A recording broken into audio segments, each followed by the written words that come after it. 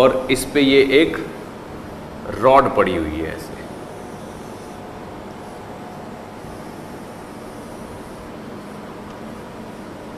ये रॉड पड़ी हुई है ग्राउंड पे। It's a rigid rod rigid rod और एक दूसरी जगह है।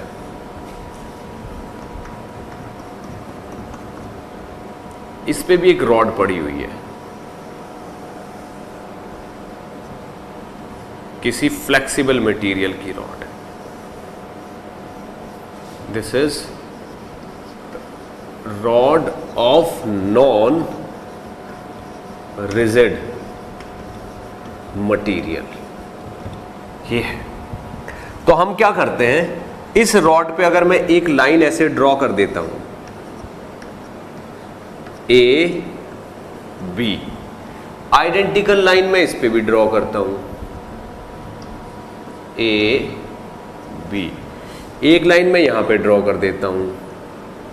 सी डी यहाँ पे भी एक लाइन ऐसे ड्रॉ कर देता हूँ मैं। सी डी ये हो गई। अब आप ये देखिए, अगर इस एंड को फिक्स करके दिस एंड ये वाला एंड फिक्स कर दिया हमने। इसका भी ये वाला एंड फिक्स कर दिया और इस वाले एंड को पकड़ के ऊपर उठाते हैं। इस वाले एंड को पकड़ के ऊपर उठाते हैं। तो ये जो रिजिड बॉडी है, ये रिजिड बॉडी किस तरीके से उठेगी? ये ऐसे उठ जाएगी। यू ऐसे उठेगी ये। ये उठ जाएगी। लेकिन ये वाली जो बॉडी है, जो कि नॉन रिजिड बॉडी है, समझ ली किसी, या तो ये कोई चेन है, या ये किसी बहुत ही सॉफ्ट रबर का मटेरियल है, जो कि रिजिड नहीं है, या ये कोई क्लोथ है। ठीक? तो इस वाले एंड को अगर फिक्स करके इसको उठाएँगे तो ये वाला एंड कैसे उठेगा? ये वाला एंड तो ऐसे उठेगा यहाँ पे। अगर ये नॉन रिजिड बॉडी हुई तो ये वाला एंड ऐसे उठेगा। यू। आप देखिए। क्योंकि ये तो नॉन रिजिड बॉडी है। इस वाले एंड को फिक्स करके आप इसको उठाने की कोशिश करोगे तो ये तो ऐसे उठेगा। तो आप देखिए ए बी लाइन जो है ए बी लाइन थोड़ी सी तिरछी हो जाएगी ऐसे। पर सी डी लाइन तो ऐसे हो जाएगी। This is line C D ये नॉन रिजिड बॉडी है और ये रिजिड बॉडी है। इसमें इसमें देखेंगे तो नई लाइन ए बी ये वाली होगी और सी डी ये वाली होगी। ठीक? तो अगर देखा जाए तो इसमें बहुत सारी चीज़ें हैं। रिलेटिव ओरिएंटेशन का मतलब क्या हुआ? रिलेटिव ओरिएंटेशन का मतलब यह हुआ कि दो पॉइंट के बीच की डिस्टेंस यानी कि distance between two points should not change should not change or orientation or angle between two lines on the body should not change.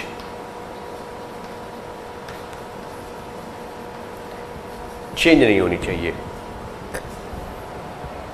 आप देखो इसमें, अगर रिजिड की बात करें इसमें तो distance between A and B अगर इस बॉडी की बात की जाए यहाँ पे, इस बॉडी की बात की जाए तो distance between A and D no change देखिए ए पॉइंट के और डी पॉइंट के बीच की डिस्टेंस जितनी है, यहाँ पे भी डिस्टेंस उतनी है। उसमें कोई चेंज नहीं आया। तो रिलेटिव ओरिएंटेशन यानी कि एक दूसरे के रिलेटिव डिस्टेंस चेंज ही नहीं। देखो, जितनी डिस्टेंस यहाँ पे है, उतनी डिस्टेंस यहाँ पे भी है तो ये चेंज नहीं हुई। लेकिन इसमें क्या है? इसमें ए और डी के बीच की डिस्टेंस जितनी है, यहाँ पे ए और डी के बीच की डिस्टेंस इतनी है और बाद में यही वाली डिस्टेंस ये हो गई। मान लो ये वाला पॉइंट ए है और ये वाला पॉइंट डी है। ये वाला पॉइंट ए बन गया और ये वाला पॉइंट डी बन गया। तो this distance is smaller and this distance is larger तो यहाँ पे अगर देखा जाए तो distance between A and D changed change हो गई है। रिलेटिव ओरिएंटेशन बदल गई है। रिजिड बॉडी में ऐसा कभी नहीं होता। अब आप एक चीज़ और ऑब्ज़र्व करो। दूसरा पॉइंट दूसरा पॉइंट क्या है? Angle between A B and C D no change देखो ए बी लाइन ये है और सी डी लाइन ये दोनों के बीच का एंगल अभी भी ज़ीरो डिग्री है। दोनों पैरेलल है। Both parallel both parallel before and after before and after orientation he change नहीं हुई। क्या है? नो no चेंज इसमें भी क्या है? नो no चेंज और इसमें क्या हो रहा है? इसमें चेंज हो गया है। इसमें चेंज हो गया है और इसमें एंगल भी चेंज हो गया और इसमें क्या हो गया? पहला तो ये, दूसरा ये कि angle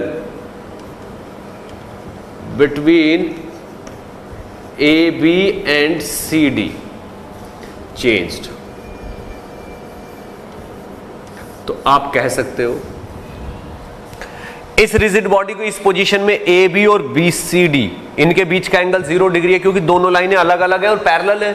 और यहाँ पे इस केस में क्या हो रहा है? एक लाइन तो ऐसे हो गई यहाँ पे, एक लाइन तो यहाँ पे ऐसे हो गई है ए बी और सी डी देखो ऐसे हो गई है सी डी हो गई है ऐसे। तो ये तो चेंज हो गया ना एंगल दोनों के बीच का। तो इस तरीके से एक पार्ट तो कम घूमा है और दूसरा पार्ट ज़्यादा घूम गया है। ये नॉन रिजिड बॉडी में होता है ऐसे फ्लेक्सिबल बॉडी या नॉन रिजिड बॉडी तो ये बॉडी कैसी है? Non rigid body this is non rigid body non rigid body जिसमें ऐसे हो गया। और ये क्या है? रिजिड बॉडी तो ये दोनों के बीच का डिफरेंस है। किस तरीके से हम डिफरेंस को शो कर सकते हैं? अगर एक पॉइंट पे बैठ के दूसरे पॉइंट को देखेंगे और तीसरे पॉइंट को देखेंगे तो फ़र्स्ट पॉइंट जिधर दिख रहा है, पहली बार में और दूसरा पॉइंट जिधर दिख रहा है, दूसरी बार में, वो कुछ एंगल होगा। लेकिन जब ये चीज़ मुड़ जाएगी या कोई ऑपरेशन हो जाएगा, इधर से उधर शिफ्ट हो जाए तो एक पॉइंट पे बैठ के जब दूसरे को देखेंगे और फिर तीसरे को देखेंगे तो अब दोनों के बीच का एंगल चेंज हो चुका होगा इस वाले केस में। पर इसमें ऐसा नहीं होगा। अगर इसमें ए पे बैठ के बी को देखेंगे और फिर सी को देखेंगे। तो जितना एंगल हमें रोटेट करना पड़ता है बी से सी को देखने में, इसको अगर आप रॉड को तिरछा कर दोगे तो अगर बी को देखोगे फिर सी को, अभी भी उतना ही एंगल रोटेट करना पड़ेगा।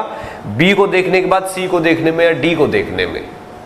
ठीक? इसका मतलब यह हुआ कि रिलेटिव ओरिएंटेशन चेंज नहीं होनी चाहिए in case of rigid body और अगर रिलेटिव ओरिएंटेशन चेंज हो रही है, ठीक? तो समझ लो बॉडी रिजिड नहीं है नॉन रिजिड बॉडी है।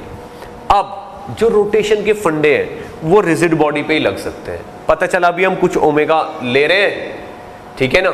कोई पैरामीटर चेंज नहीं हुआ, बीच रास्ते में रॉड मुड़ गई तो एक पार्ट का ओमेगा कुछ हो गया, दूसरे का ज़्यादा हो गया। तो बॉडी के पार्ट्स ही अलग अलग ओमेगा को फॉलो करने लगेंगे। रूल्स ही नहीं लग पाएँगे, हमारी कैलकुलेशन ही नहीं हो पाएगी। तो रिजिड बॉडी ऐसी चीज़ है जिसका रोटेशन हम पढ़ सकते हैं। पर नॉन रिजिड बॉडी का रोटेशन हम स्टडी नहीं कर सकते, क्योंकि डिफरेंट पार्ट की ओमेगा डिफरेंट होगा डिफरेंट पार्ट का रोटेशन डिफरेंट होगा। तो इसलिए बहुत सारे ओमेगा का, बहुत सारे टाइप के रोटेशंस का कॉम्बिनेशन हो जाता है ये नॉन रिजिड बॉडी इसलिए इसको पढ़ना थोड़ा सा मुश्किल हो जाता है। ठीक? इसको नोट करिए अच्छे से, फिर और आगे बढ़ते हैं हम।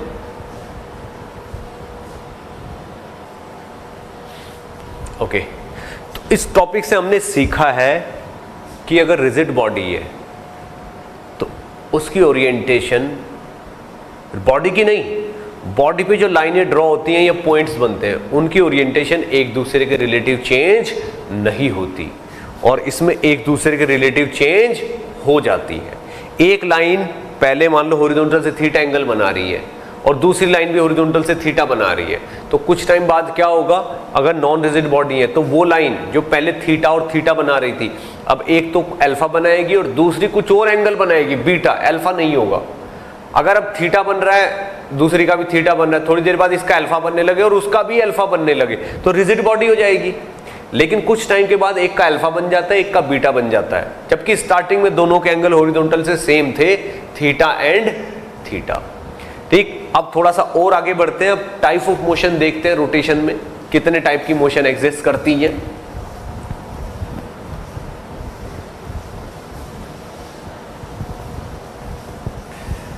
ठीक है मोशन देखते हैं क्या होती है। Types of motion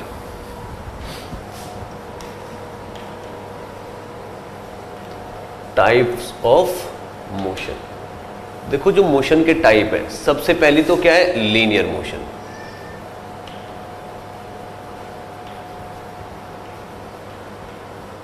linear motion linear motion मतलब स्ट्रेट लाइन में मोशन स्ट्रेट लाइन मोशन भी बोल सकते हैं इसको आप. दूसरी होती है रोटेशनल मोशन रोटेशनल मोशन ठीक? जैसे ये वाली लीनियर मोशन है, इसको आप स्ट्रेट लाइन मोशन भी बोल सकते हो एक टाइप से। छोटे छोटे पार्ट्स में तो स्ट्रेट लाइन में चलेगी। रोटेशनल मोशन को आप प्योर रोटेशन भी बोल सकते हैं। प्योर रोटेशन अब थर्ड टाइप की जो मोशन होती है, जो हमको पढ़नी होती है, जो थर्ड टाइप की मोशन है that is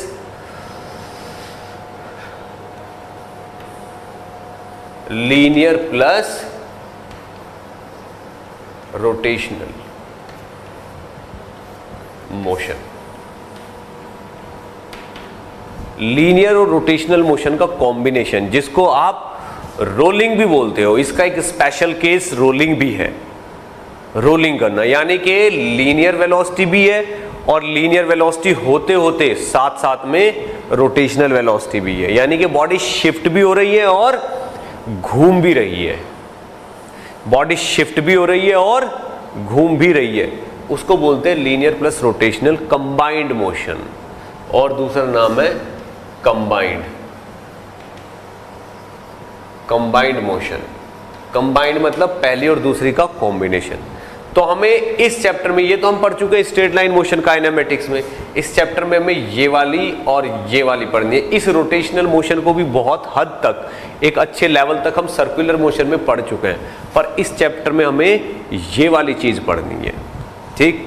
अब आप ये देखिए, कहीं कहीं पे, कहीं कहीं पे ऐसे लगता है जैसे रोटेशन हो रहा है, पर रोटेशन होता नहीं है। लगता है कि बस रोटेशन हो रहा है, पर रोटेशन होता नहीं है। कैसे? कब पहचानना है कि रोटेशन है या नहीं है? क्योंकि दो चीज़ें होती हैं, एक तो सर्कुलर मोशन सर्कुलर मोशन और एक होता है रोटेशन ठीक? तो कुछ मोशन ऐसी होती है जो गोल गोल घूमती है।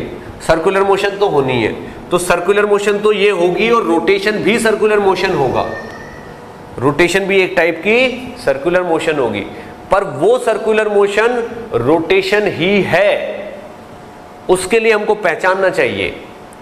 ठीक? तो एक्चुअल में होता क्या है? सर्कुलर मोशन तो सारी ही। है तो अगर देखा जाए तो दिस इज़ सर्कुलर मोशन ये जो बड़ा वाला है, ये तो सर्कुलर मोशन है। And this is rotational motion this is rotational motion तो कुछ मोशन ऐसी हैं जो सर्कुलर होती रोटेशन मोशन तो सर्कुलर होगी होगी। पर ज़रूरी नहीं है सर्कुलर मोशन रोटेशन हो। वेन डायग्राम की हेल्प से हम बता सकते हैं। ये सर्कुलर मोशन है, पूरी की पूरी। इसी में से कुछ टाइप की मोशन स्पेशली रोटेशनल मोशन होती है। तो कोई मोशन रोटेशन है कि नहीं है, उसके लिए मुझे पहचानना पड़ता है कि या फिर ये किसी और टाइप की सर्कुलर मोशन है बस। फॉर एग्ज़ाम्पल मान लीजिए आपके पास यहाँ पे एक रिजिड सपोर्ट है। ऐसे। इसमें से एक इस तरीके की रॉड निकली हुई है यहाँ से। यूँ रॉड निकली हुई है, यूँ। और यहाँ पे एक बिल बोर्ड है आपके पास। इस तरीके का एक बिल बोर्ड है आपके पास, ये। इस बिल बोर्ड पे इस तरीके से ये ये अरेंजमेंट बना हुआ है, ऐसे। दिस इज़ फ्लेक्सिबल दूसरा बिलबोर्ड भी बिल्कुल ऐसा ही है।